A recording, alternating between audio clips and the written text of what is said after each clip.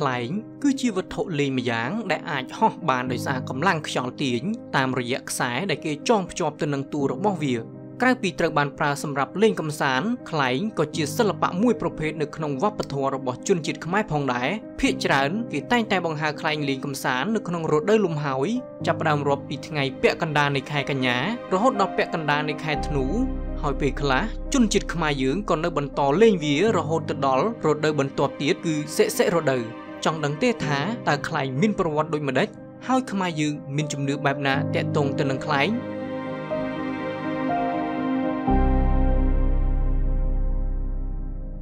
ខ្លែងមានប្រភពកំណើតដំបូងនៅក្នុងប្រទេសចិនតាំងពី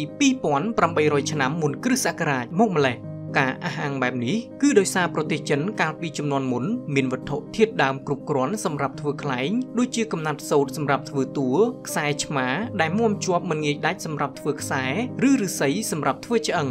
នៅក្នុងសម័យនគរភ្នំកាលពីដើមសតវត្សទី1ដល់សតវត្សទី7នៃគ្រិស្តសករាជជនជាតិខ្មែរក៏ចេះបង្ហោះខ្លែងដែរដោយយកខ្លែងចិនជាតួយ៉ាង នៅក្នុងអន្តរកាលនោះប្រទេសឥណ្ឌានិងប្រទេសអឺរ៉ុបមួយចំនួនក៏បានទទួលប្រពៃណីខ្លែងពីចិនផងដែរការផ្សព្វផ្សាយវប្បធម៌ខ្លែងនេះបានធ្វើឡើងដោយសារវិស័យពាណិជ្ជកម្មអន្តរជាតិនិងតាមផ្លូវទូករវាងប្រទេសចិននិងប្រទេសទាំងអស់នោះនៅក្នុងសតវត្សទី12ជនជាតិអឺរ៉ុបថែមទាំងចេះធ្វើខ្លែងបញ្ចេញសម្លេងជាភ្លេងផងដែរដោយចោះរុនខ្យល់និងរឹតបន្តឹងខ្សែនៅលើតួខ្លែងម្ល៉េះហើយនៅពេលដែលវាប៉ះនឹងខ្យល់ក៏បង្កើតបានជាសម្លេងដូរតន្ត្រីតែម្ដងទៅ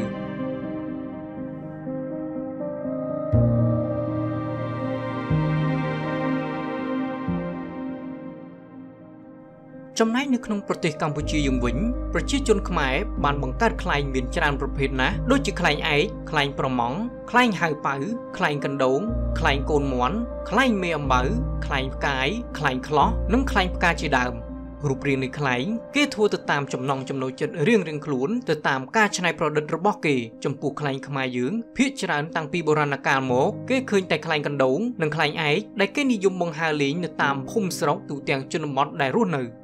មិនត្រឹមតែការបង្ហើរខ្លែងតាមបែបកំសាន្តប៉ុណ្ណោះទេខ្មែរយើងក៏ដូចជាប្រទេសដទៃដទៃទៀតមានប្រពៃណីបង្ហើរខ្លែងប៉ុន្តែការធ្វើពិធីបែបខុសៗប្លែកគ្នាពីប្រទេសមួយទៅប្រទេសមួយត្រង់រដូវកាលនៃការបង្ហើរនិងរូបភាពនៃខ្លែងនិងពិធីបង្ហើរដែលធ្វើជាពិសេសទៅតាមប្រពៃណីនិងជំនឿរបស់សាសនានីមួយៗបើយោងតាមគម្រោងឯកសារស្ដីពីប្រពៃណីនិងទំនៀមទម្លាប់របស់ខ្មែររៀបរៀងដោយព្រឹទ្ធាចារ្យម៉េចប៉ុនបានលើកឡើងថា ប្រពៃណីនៃការបង្ហាខ្លែងបានឆ្លុះបញ្ចាំងនៅចរិតរបស់សង្គមខ្មែរដែលរស់នៅផ្សារភ្ជាប់ទៅនឹងធម្មជាតិនិងទទួលឥទ្ធិពលនិងប្រើប្រាស់ធម្មពលធម្មជាតិសម្រាប់ការរស់នៅនិងកម្សាន្តម្យ៉ាងទៀតប្រពៃណីនៃការបង្ហាខ្លែងមិនគ្រាន់តែជាពិធីមួយធ្វើឡើងសម្រាប់ការកំសាន្តប៉ុណ្ណោះទេ ក៏ប៉ុន្តែក៏ជាពិធីមួយសម្រាប់គោរពបូជាទៅដល់សាសនាសំខាន់សំខាន់ពីរផងដែរដែលប្រជាជនខ្មែរធ្លាប់ជឿនិងគោរពតាំងពីដើមរៀងមកគឺព្រហ្មញ្ញសាសនា និងពុទ្ធសាសនា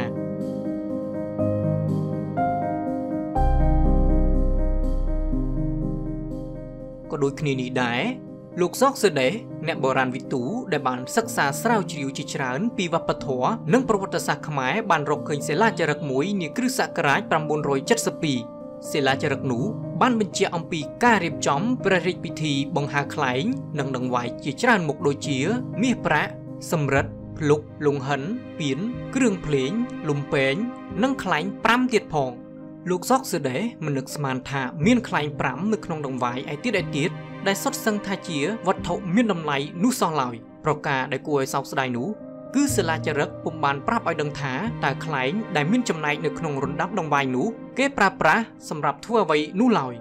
នៅក្នុងគ្រិស្តសករាជ1590លោកគីរ៉ូសាដឺសង់អង់តូនីញ៉ូជាជនជាតិប៉ុកតុហ្គាល់ដែលបានធ្វើដំណើរមកដល់ប្រទេសកម្ពុជាក៏បានសរសេរទុកដែរថាប្រជាជនខ្មែរបានចាត់ចែងធ្វើពិធីបង្ហើរខ្លែងដែលធ្វើពីក្រដាសនិងដើមបបោស ខ្លែងនោះមានចងខ្សែវែងហើយអាចហោះហើរបានទៅលើអាកាសកាលណាវាត្រូវខ្យល់បក់មិនតែប៉ុណ្ណោះខ្លែងនោះក៏បានបន្លឺសំឡេងអ្វីមួយពីរោះគួរឲ្យចង់ស្ដាប់ផងដែរ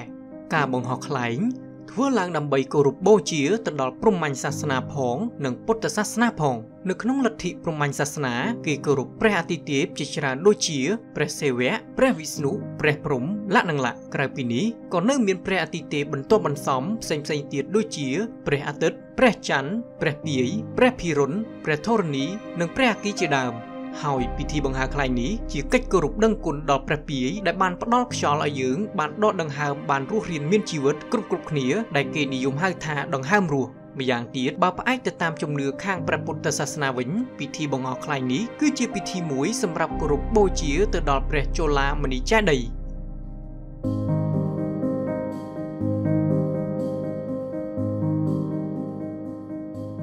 តាមជំនឿរបស់ខ្មែរយើងបើកាលណាមានខ្លែងធ្លាក់ទៅលើដំបូលផ្ទះអ្នកណាមួយនោះគេចាត់ទុកថាជាគ្រោះចង្រៃហើយការចាត់ទុកនោះគឺត្រឹមតែខ្លែងឯកប៉ុណ្ណោះម្ចាស់ផ្ទះត្រូវទាមទារឲ្យម្ចាស់ខ្លែងធ្វើពិធីបង្កក់ប្រសិទ្ធលើករិស័យឲ្យគេនោះទើបគេសុខចិត្តបើពុំនោះទេនឹងកើតមានការវិវាទនឹងគ្នាជាក់ជាមិនខាន ការបង្ហើរខ្លែងគឺជាទំនៀមទម្លាប់ប្រពៃណីរបស់សង្គមខ្មែរយើងតាំងពីបុរាណកាលមកម្ល៉េះហើយសពថ្ងៃនេះក៏នៅបន្តធ្វើតាមដំណើរនៃដូនតាយើងដែលបញ្ជាក់អំពីក្រិតក្រមមួយដែលថាជីវិតតែងផ្សារភ្ជាប់ទៅនឹងរុក្ខជាតិ និងដើម្បីគោរពដល់គុណធាតុទាំង4ដែលទ្រទ្រង់លោកគឺធាតុដីធាតុទឹកធាតុភ្លើង និងធាតុខ្យល់ដែលផ្ដល់នូវជីវិតនិងធម្មជាតិផ្សេងផ្សេងសម្រាប់កំដរជីវិតហើយយើងក៏នាំគ្នាធ្វើពិធីនេះឡើងនៅពេលដែលខ្មែរយើងបានរីករាយក្នុងអារម្មណ៍ដោយទទួលបានផលពីរបបកសិកម្មបើទោះបីយើងពិនិត្យឃើញថានៅសម័យនេះការបង្ហើរខ្លែងមិនសូវមានសកម្មភាពខ្លាំងក្លាយ៉ាងណាក្តីក៏គេនៅតែឃើញមានការបង្ហោះខ្លែងនៅក្នុងប្រទេសយើងជាដរាប។